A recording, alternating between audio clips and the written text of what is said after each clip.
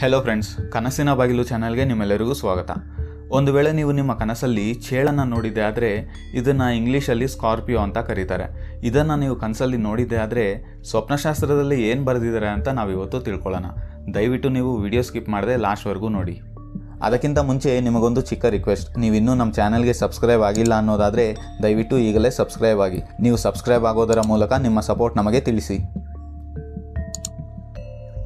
ಒಂದು ವೇಳೆ ನೀವು ನಿಮ್ಮ ಕನಸಲ್ಲಿ ಪೂರ್ತಿ ಕಪ್ಪು ಬಣ್ಣದಲ್ಲಿರುವಂಥ ಚೇಳನ್ನು ನೋಡಿದ್ದೆ ಆದರೆ ಇದು ಒಂದು ತುಂಬ ಒಳ್ಳೆ ಕನಸು ಅಂತ ಹೇಳ್ಬೋದು. ಮುಂಬರುವ ದಿನಗಳಲ್ಲಿ ನಿಮ್ಮ ಜೀವನದಲ್ಲಿ ನಿಮಗೆ ಯಾವುದೋ ಒಂದು ಜವಾಬ್ದಾರಿಯುತ ಕೆಲಸ ಸಿಗತ್ತೆ ಅಂತ ಈ ಕನಸು ನಿಮಗೆ ಸೂಚನೆ ಕೊಡುತ್ತೆ. ಅದು ಯಾವುದೇ ವಿಷಯದಲ್ಲಿ ಆಗಿರ್ಬೋದು ನೀವು ಮಾಡ್ತಿರುವಂಥ ಜಾಬಲ್ಲಿ ನಿಮಗೆ ಒಳ್ಳೆ ಪೊಸಿಷನ್ ಸಿಗೋದು ಅಥವಾ ಒಂದು ಹೊಸ ರೆಸ್ಪಾನ್ಸಿಬಿಲಿಟಿ ಸಿಗೋದು ಅಥವಾ ನಿಮ್ಮ ಫ್ಯಾಮಿಲಿಯಲ್ಲಿ ನಿಮ್ಮ ಡಿಸಿಷನ್ಸ್ ಕೇಳೋದು ಅಥವಾ ನಿಮಗೆ ಯಾವುದೋ ಒಂದು ಜವಾಬ್ದಾರಿ ಕೊಡೋದು ಇಂಥದ್ದಾಗತ್ತೆ ಅಂತ ಈ ಕನಸು ನಿಮಗೆ ಸೂಚನೆ ಕೊಡುತ್ತೆ.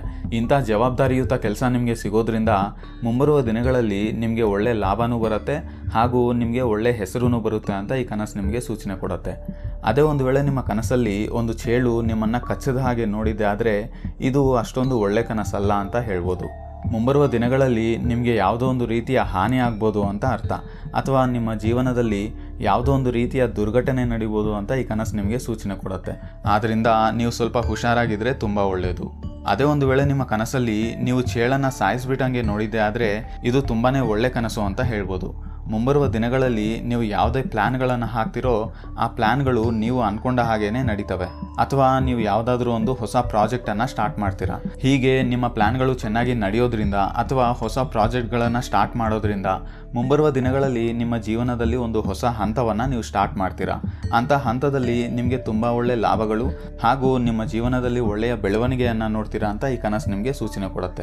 ಅದೇ ಒಂದು ವೇಳೆ ನಿಮ್ಮ ಕನಸಲ್ಲಿ ಪೂರ್ತಿ ಬಿಳಿ ಬಣ್ಣದಲ್ಲಿರುವಂಥ ಚೇಳನ್ನು ನೀವು ನೋಡಿದ್ದೆ ಆದರೆ ಇದು ಅಷ್ಟೊಂದು ಒಳ್ಳೆ ಕನಸಲ್ಲ.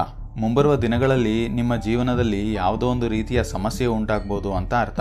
ಅಥವಾ ಮಾನಸಿಕ ಒತ್ತಡ ಜಾಸ್ತಿ ಆಗುತ್ತೆ ಅಂತ ಈ ಕನಸು ನಿಮಗೆ ಸೂಚನೆ ಕೊಡುತ್ತೆ. ಆ ಮಾನಸಿಕ ಒತ್ತಡ ಯಾವುದೇ ವಿಷಯದ ಬಗ್ಗೆ ಆಗಿರ್ಬೋದು. ಆದ್ದರಿಂದ ನೀವು ಸ್ವಲ್ಪ ಹುಷಾರಾಗಿದ್ದರೆ ತುಂಬ ಒಳ್ಳೆಯದು ಇಂಥ ಮತ್ತಷ್ಟು ಸಮಾಚಾರಗಳಿಗಾಗಿ ದಯವಿಟ್ಟು ನೀವು ನಮ್ಮ ಚಾನಲ್ನ ಸಬ್ಸ್ಕ್ರೈಬ್ ಮಾಡ್ಕೊಳ್ಳಿ. ಈ ವಿಡಿಯೋ ನಿಮಗೆ ಇಷ್ಟ ಆಗಿದ್ರೆ ಲೈಕ್ ಮಾಡಿ, ಶೇರ್ ಮಾಡಿ. ಮುಂದಿನ ವಿಡಿಯೋಲಿ ಮತ್ತೆ ಸಿಗೋಣ. ನಮಸ್ತೆ.